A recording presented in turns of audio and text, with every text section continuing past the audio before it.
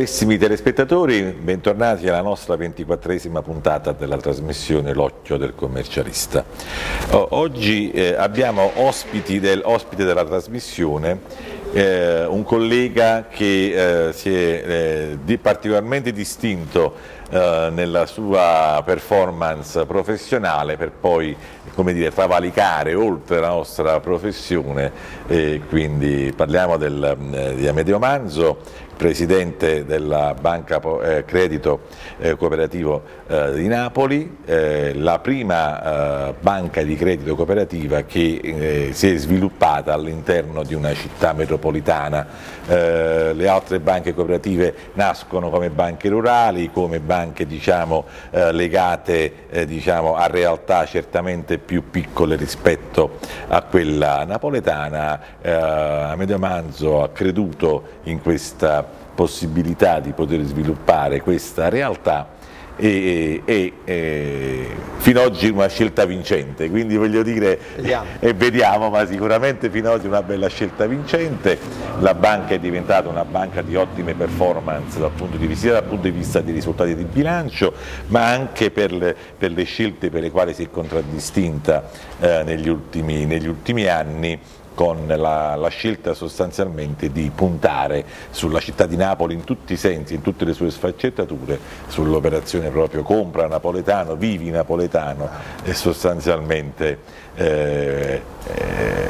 a supporto sostanziale dell'economia napoletana, cosa che tra parentesi è anche parte della, della, della, della mission, mission, della, banca. E, quindi de, de, da questo partiamo sostanzialmente per dire che eh, un collega che eh, quindi conosce eh, perfettamente tutte le problematiche che sono legate alla nostra professione e che eh, si trova in questo momento, non dico dall'altra parte della barricata, ma su una barricata probabilmente eh, più eh, dire, di, di, ulteriori e diverse battaglie che vengono compiute, quelle del, del fronte del credito. E quindi al quale noi possiamo chiedere eh, quali possono essere a questo punto le prospettive per i colleghi che ehm, dire, si trovano nel, in questo momento nell'approccio della professione ma anche nello sviluppo della professione, sia nella normale attività professionale ma anche nel corretto approccio con il sistema bancario, il corretto approccio quindi poi anche con la BCC e quali strumenti possono essere utilizzati oggi per poter sviluppare la nostra professione nel miglior modo possibile di eh, sostanziale supporto eh, alle aziende, alle start-up, a tutte quelle realtà che eh, noi dobbiamo come, come professionisti eh, contribuire a far crescere e, e sostanzialmente eh, impiegando tutto il nostro sapere professionale per farle sviluppare al meglio. E quindi eh, Caro Amedeo, eh, a questo punto mh, ti chiedevo, eh, appunto da questo punto di vista, quali possibilità possiamo dare, quali, quali opportunità possono avere i commercialisti oggi per poter dire, essere di supporto alle aziende nella, nel miglior modo possibile eh, e nell'approccio quindi con l'istituzione bancaria in quanto tale, visto che oggi l'istituzione bancaria è completamente diversa da quella che noi conoscevamo fino a anche dieci anni fa probabilmente. No? quindi con tutto quello che successivamente è cambiato, specialmente per quanto riguarda quella che è la, la, la, la situazione bancaria del mezzogiorno. Eh, notevolmente modificata, notevolmente cambiata, ma eh, diciamo che però supportata anche dalla 662 che, ci, che consente di, il famoso fondo di garanzia eh, sul quale voglio dire, credo che ci darai ulteriori approfondimenti anche alla luce delle ultime indicazioni pervenute. Mi zittisco perché sennò continuo. Benissimo. Allora innanzitutto volevo fare un ringraziamento al dottore Rusi, Alfredo Rusi per la sensibilità che mostra in ogni fattispecie che lo caratterizza, quindi sia nel mondo della professione, nel mondo del sociale ma anche questa iniziativa comunicativa di diffondere, lo sta facendo benissimo, eh, esperienze molteplici del mondo della professione a favore dei nostri colleghi. Eh, l'esperienza Banca di Credito Cooperativo un'esperienza che nasce ormai nel 2005, era un progetto che voleva me professionista ma tanti altri che hanno dato vita e sono meritevoli dei risultati che stiamo realizzando, portare avanti un progetto di una banca che fosse una banca della gente, una banca di territorio che sapesse dialogare con le persone, che non fosse legata soltanto alle formule matematiche, che non fosse soltanto legata ai numeri, ai progetti di bilancio e via discorrendo. Questo progetto che non era mai sorto nella nostra città, sono ormai 130 anni che non c'era una BCC a Napoli, ha visto la Costituzione nel 2006, la richiesta di autorizzazione nel 2007, l'apertura nel 2009 e nel dicembre del 2010 il primo pareggio contabile, quindi per la prima volta una start-up di carattere bancario non solo nasce una BCC in una metropoli sconfessando tutte le teorie della cooperazione di credito che volevano lo sviluppo di una banca nei piccoli centri che poi arrivasse nelle grandi città, vedi BCC di Roma, BCC di Milano ma eh, nascere in una grande metropoli, la prima metropoli del mezzogiorno e soprattutto nascere nel centro di una città in un grande distretto bancario. Questo ha portato questa scelta coraggiosa ottenuta col sostegno di tanti napoletani, siamo partiti con 1500 soci, oggi sono oltre 4000 è stata sostenuta fortemente dal credito cooperativo e dai suoi vertici che hanno visto nella nostra città e naturalmente anche nei colleghi, nei professionisti che sviluppano la loro prestazione qui a Napoli, in provincia e nell'area metropolitana, un, una grande possibilità di diffusione del modello cooperativo. Nel 2010 abbiamo realizzato il pareggio, abbiamo continuato a macinare numeri e soprattutto abbiamo fatto sì che il modello cooperativo coinvolgesse con le banche del proprio gruppo, quindi BCC Factoring, Crea Banca Imprese, Crea Banca, BCC Assicurazioni, BCC Gestione Crediti e via discorrendo, portasse i propri servizi e le energie raccolte da tutte le BCC italiane, che ricordo essere 300, raccolte ora da gennaio in una capogruppo che diventa il terzo gruppo bancario italiano, certo. Primo, prima banca eh, locale del paese, quindi integralmente formata da italiani, perché le precedenti due banche, Unicredit e Banca Intesa, hanno nel board naturalmente degli stranieri. Questo modello a Napoli fa sì che naturalmente si apre uno scenario completamente diverso per le piccole imprese, per gli artigiani, per i giovani, per le start-up non nella possibilità di poter derogare alle, alle indicazioni che l'organo di vigilanza in maniera netta giustamente porta avanti a seguito del, delle direttive della BCE, ma semplicemente perché questo nuovo modo di parlare alla gente fa sì che eh, i singoli imprenditori, i soci ma non solo, possono avere un trattamento privilegiato nella esposizione del loro progetto, ottenendo linee di credito frazionate, quindi si va dalla piccola linea di credito dei 10.000 euro al piccolissimo alla famiglia, al mutuo casa, alle giovani coppie, per finire a grandi operazioni in pool per l'acquisto di aziende anche all'estero attraverso appunto le nostre partecipate. Tutto questo non derogando, come dicevo prima, alle regole della sana e prudente gestione, ma utilizzando uno degli elementi che tu giustamente con la cultura d'impresa che hai portato subito al centro è quello della legge 662 gestita dal Medio Credito Centrale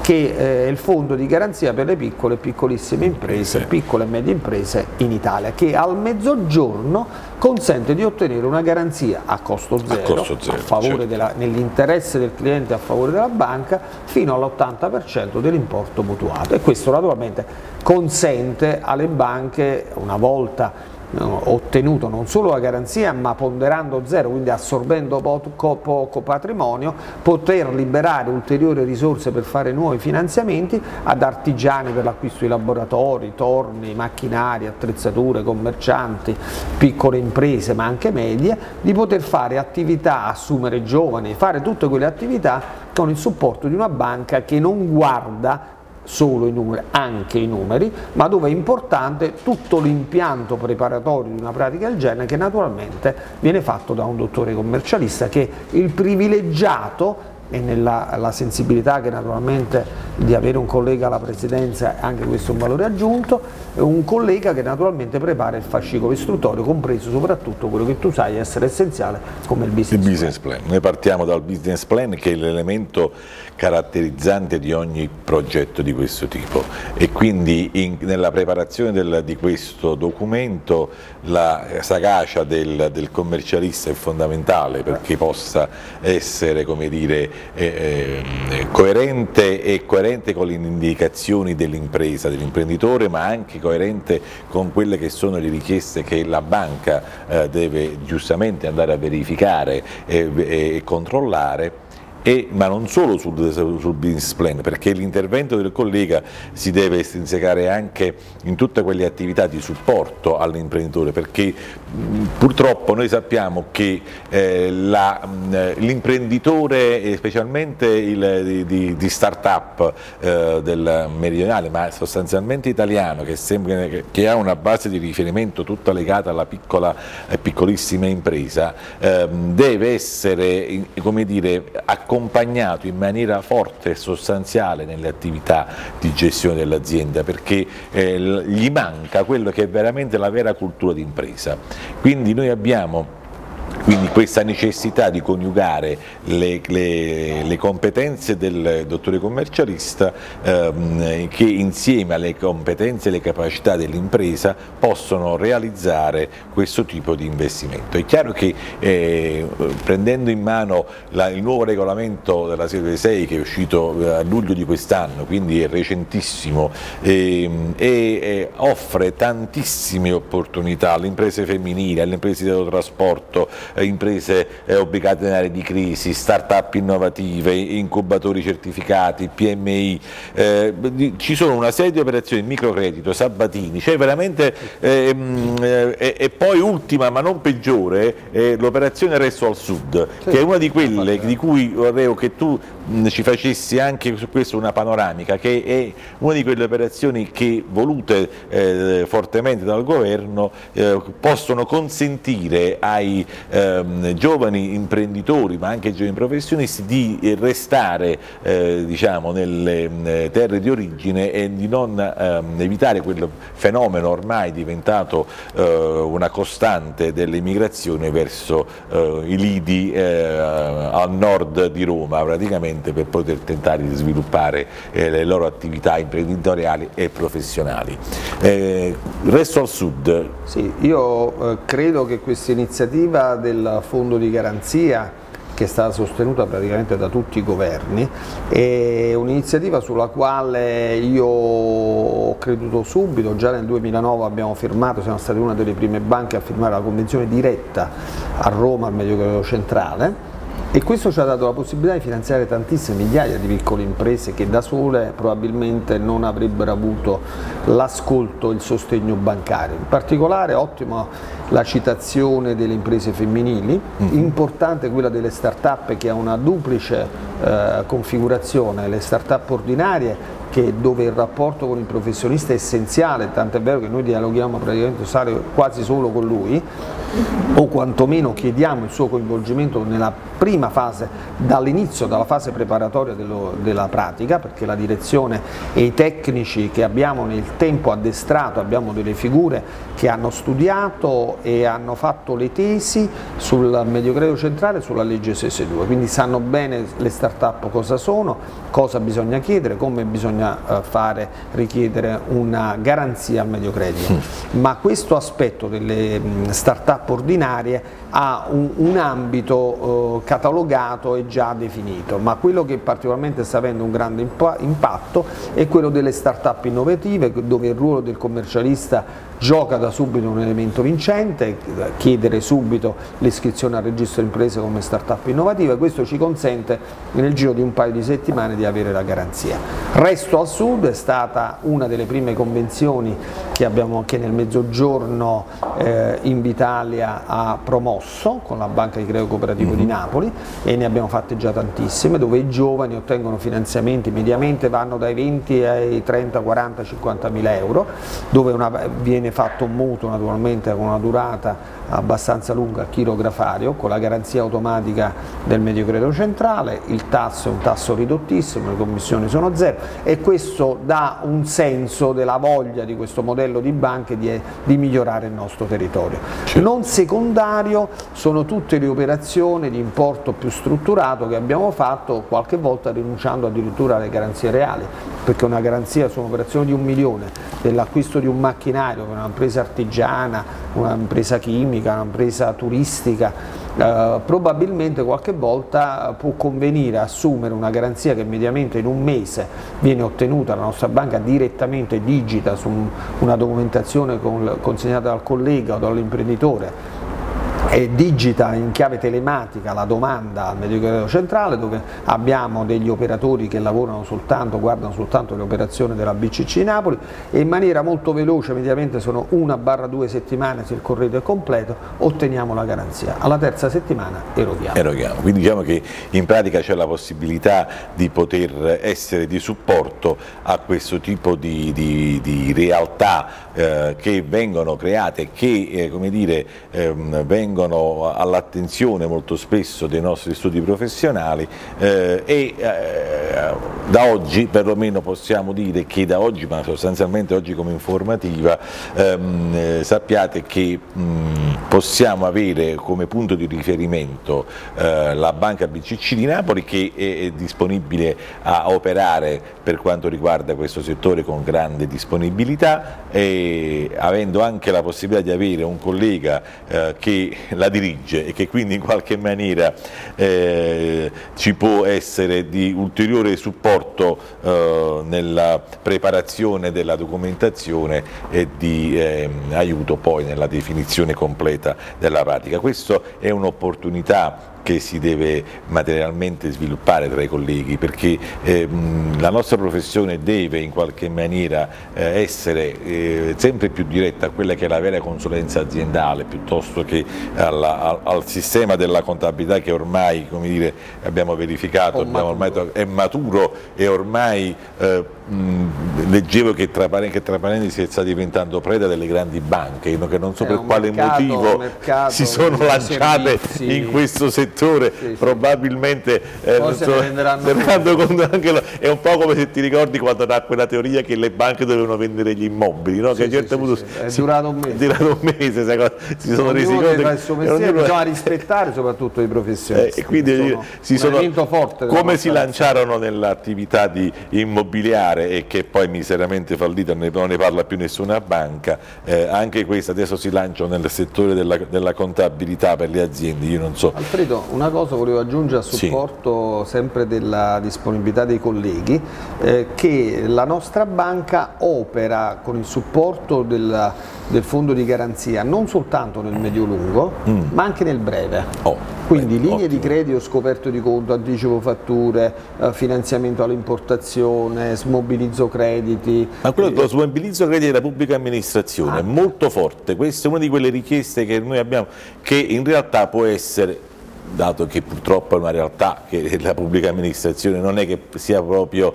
insomma, precisissima nei suoi pagamenti, lo smobilizzo può essere una grande una soluzione per tantissime aziende. Questo lo facciamo solitamente anche sia attraverso lo strumento del factoring, sia attraverso i Crea Banca Impresa con operazioni bullet, ma in particolare direttamente con lo smobilizzo crediti nei confronti delle ASL, degli enti pubblici che con la cessione del credito e a supporto la garanzia del medio credito centrale che anche qui è molto veloce. Una domanda, una domanda... Colleghi, il rapporto con i colleghi è decisivo perché ti consentono di analizzare delle poste di bilancio e l'imprenditore a cui noi ogni volta non perdiamo occasione di enfatizzare il ruolo del collega si rendono conto che l'attività professionale del dottore commercialista che consente di comprendere la posizione tributaria, la posizione legale, l'organizzazione aziendale, la pianificazione aziendale, il marketing, i mercati, la posizione con le altre banche consente non solo di risparmiare tempo ma di comprendere l'impresa e se tu capisci l'impresa